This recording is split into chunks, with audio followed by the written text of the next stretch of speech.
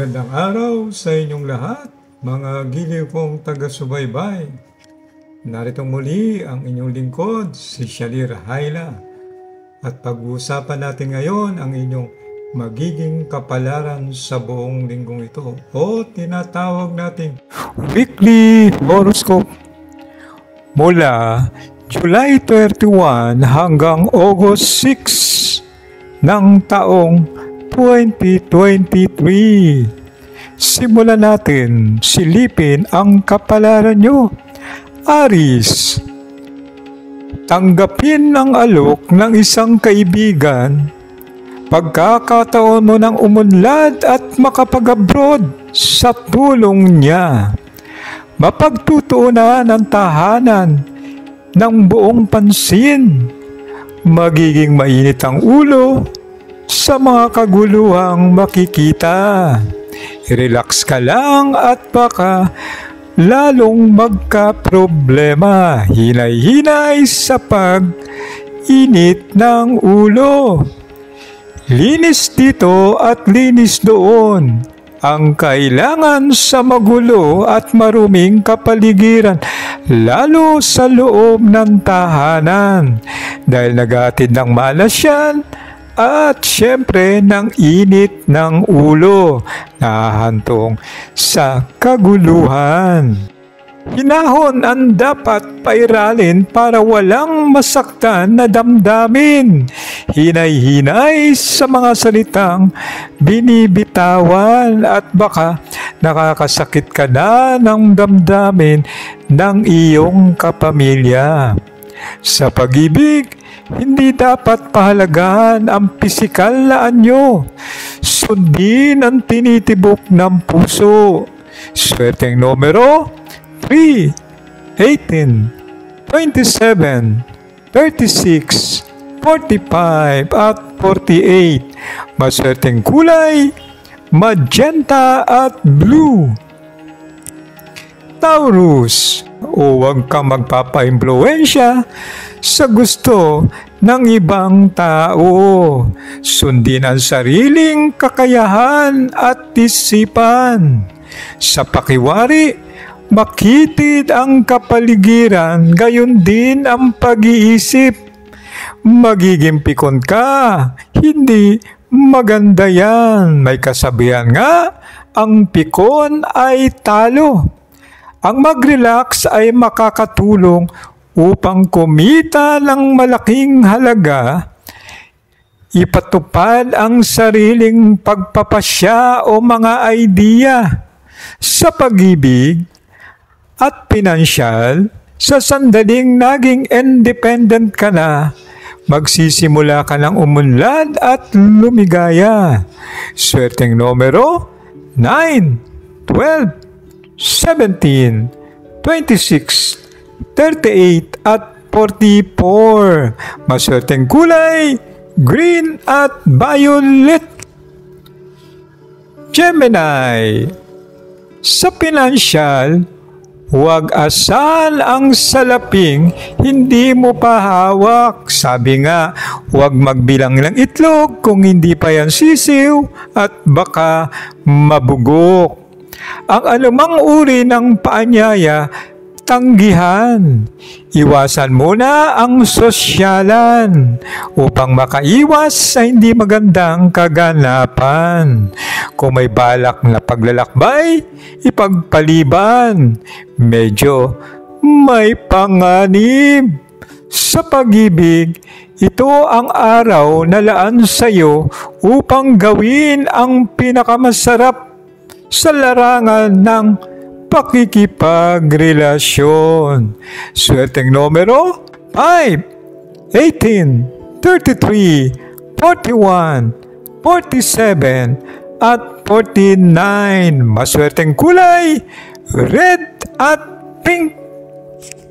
Cancer. Dagdag ng sipag ang dapat na ipatupad upang makamit ang iyong pinapangarap. Sa linggong ito, huwag pairalin ang katamaran kung nais umasenso sa iyong buhay.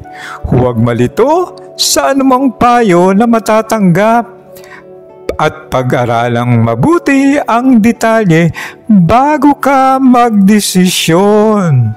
Sa pag-ibig, huwag paghinalaan ng hindi maganda ang iyong kasuyo pagmumula ng malaking problema yan sa pinansyal, utuin ang kasuyo upang magbigay siya ng dagdag na pera. Aba, hilot-hilutin nang sa ganon, mauto mo nga. Swerteng numero ang 7, 16, 33, 39, 42 at 48. Maswerte ka sa kulay na green at indigo. Leo, puro ka na lang kasiyahan at pagpapasarap. Aba, puro ka ka-enjoy-enjoy, pero baka ulanin ka na ng problema kaya mas mainam kung mag-iipon at paglaanan naman ang iyong future. Sa linggong ito, aba, relax-relax, kumilos ka, huwag puro kasiyahan lang. Sa pag-ibig, hikayatin ang kasuyo na mag-ipon kayong dalawa. Kahit pa konti-konting halaga, sa bawat buwan, lalaki rin naman yan. Swerteng numero 7, 19, 25, 34, 40 at 43. Maswerte ka sa kulay na gold at pink. Virgo, Negosyong may kaugnayan sa butil ang magpapayaman sa iyo. Ano ba ang mabutil na yan? Bigas? Mais? O iba pa? Magiging masigla at nakatitiyak sa sarili na handang harapin ang iyong gawain. Masayahin na halos lahat magugulat sa iyo. Sa pag-ibig, Kapag maunlad ka na at mapera, kusa ka ring liligaya. Kaya mag-ipon, swerteng numero ang 7, 16, 23, 34, 49 at 41. Maswerte ka sa kulay na green at violet. Libra Upang ma-repress ang isip at damdamin, lagi kang makinig ng musika. Huwag naman ang puro rock na lang, mas maganda yung medyo jazz music dahil makakapag-relax ka at makakapag-isip. Ang mga hinanakit na pang-personal o trabaho ay mapapawi na yan.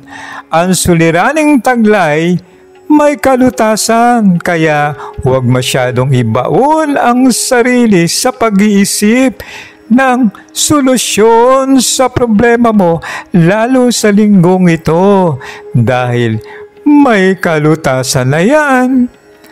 Ang mga love song music at classic ang magpapalakas ng iyong libido at immune system. Kaya patugtugin na yan Swerteng numero 3, 11, 12, 1, 4 at 39. Maswerteng kulay, red at pink o pula at rosas daw. Scorpio, magtiwala ka sa iyong kasuyo.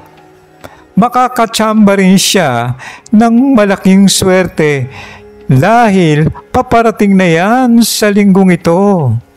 Malamang may mag-aalok ng trabaho.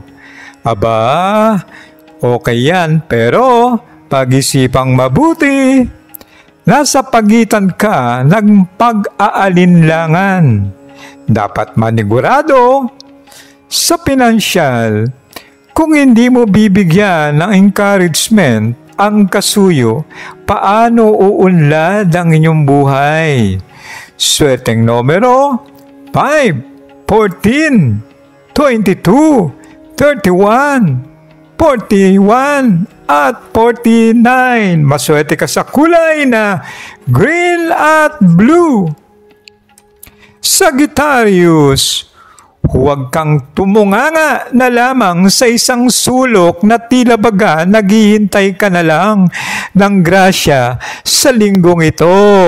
Mag-isip-isip at dagdagan ang iyong mga idea at bagong pagkakakitaan. Ang tunay na kaibigan sa kagipitan ay makikilala mo kaya sa linggong ito, makikita na ang tunay mong kaibigan. Naayon ang panahon para iwasan ang kaibigang sa turing lang. O yan, narinig nyo, makikilala ang tunay na kaibigan o sa turing lang. Sa pag-ibig, Tuloy ang palihim pero romantic na relasyon sa isang nilalang hindi namang gaanong mataba, maganda o kung sakang babae o hindi siya gaanong gwapo at medyo hindi makisig.